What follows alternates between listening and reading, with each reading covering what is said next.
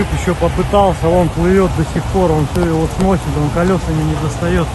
После каждого мощного дождя в топе соцсетей видео потопа на улице Попова. Просмотры бешеные, шок-контент прямо из окна. Старые коммунальные сети и естественный рельеф создают опасную точку на карте. Камерой сложно перед, передать уклон дороги, но он все же есть. Такая ложбинка, самая низкая точка. Здесь трамваи встают в очередь, машины тонут, детей сносит течением. Все потому, что на такой огромный участок дороги в километр всего пара ливневок. Посмотрите на ее размер.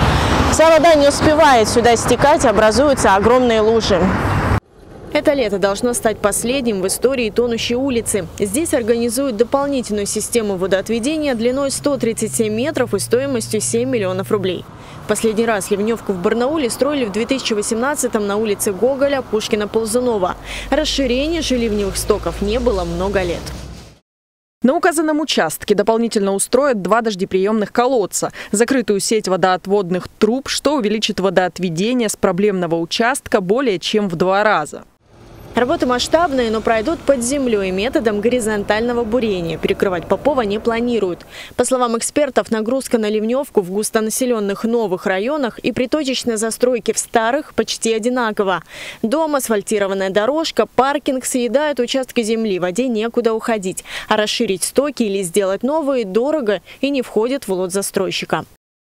По опыту могу сказать, что инженерная инфраструктура достаточно сильно отстает от темпа строительства. То есть получается, что участки у нас застраиваются, осваиваются очень быстро, инженерная инфраструктура гораздо позже. Вы, наверное, видите, даже по дорогам дороги появляются позже к микрорайону зачастую, а хотя должны заранее быть. А вместе ведь с дорогой идут в том числе и ливневые канализации.